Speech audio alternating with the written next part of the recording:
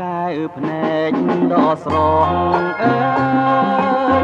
ភ្នែកនេះហើយចិនរៀមជំពាំងនៅពេលបងនឹងត្រីសម័យឃើញខាំងវលាំងដឹកលោកមិនព្រមព្រៃដួងនេត្រាសង្ឃឹមថាជួបគ្នាជាថ្មី ស្នេហ៍ស្រីស្នេហ៍ធំដូចជុំផែនដីមានអ្វីមកបំបែកបា